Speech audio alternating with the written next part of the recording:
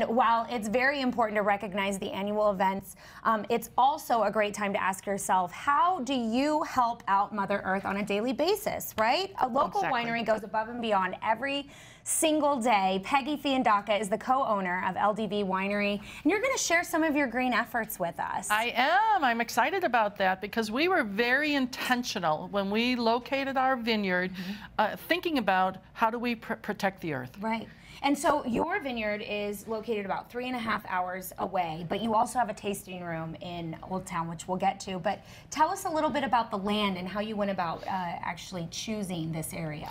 So, like I said, from day one, we were concerned about the water Mm-hmm. because uh, actually people don't realize grape growing is a low water use crop. Oh, So, it's actually coming back to the desert. When you look at the history, it was actually from Persia. Oh, wow. It was in the desert. So, it's a low water use crop. So, we wanted to have quality water um, and we wanted to manage that water effectively. So, water was important, the soils were important, the um, climate of our area was important when we selected our vineyard. And then, so tell us a little bit about how you monitor the water usage. Well, we do drip irrigation, which is different than a lot of vineyards because they depend on Mother Nature to give them water. But we love drip irrigation because we can control uh, the amount Yeah. of water for every single plant. That's really important. And we can turn it off, turn it on when we need it. So it's very sophisticated. So, on top of properly uh, nurturing the soils, you also never add any enhancements to your wines. And I think this was something I found fascinating. I had no idea some people do this. Yeah, so we even take that sustainability ethic into the winery.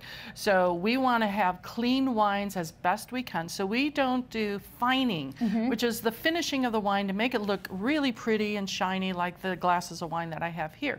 We do a handcrafted kind of process. Instead of putting additives like fish bladders and, and uh, eggs and things like that, proteins to attract those sediments, we do what's called racking. Every 45 days, we empty out the barrels because the sediment falls to the bottom, and we naturally take out that sediment. So, you're going to share some ideas with us on how we can do what you do Yeah. at home, just kind of taking the idea. Well, number one, be intentional about trying to do something a little bit every single day. Okay. So, I mean, bring your grocery bags. Yes. Don't use the grocery bags. Go to uh, the farmer's market to get your vegetables so they don't have to go travel long distances. Use um, a, a- disposable or, or bring along uh, recyclable silverware. And even the straws are really big right now, the metal exactly. straws, and you just get a little um, cleaner for Yeah, them. exactly. Be intentional about your savings. These are great tips.